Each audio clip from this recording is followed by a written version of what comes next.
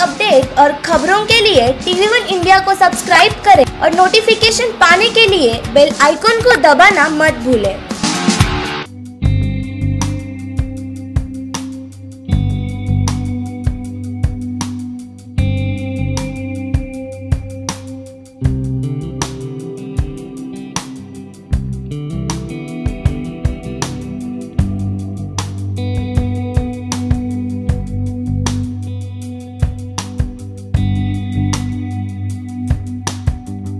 Public की demand तो यहाँ पर इतनी ज़्यादा है कि सामने से वो बोल रहे हैं कि आप साइट विज़िट कराइए प्लीज़ साइट विज़िट कराइए। तो ऐसा डिमांड पंद्रह साल के हम लोग के एग्जीबिशन टेन्योर में फ़र्स्ट टाइम हम लोग को एक्सपीरियंस करने को मिला है।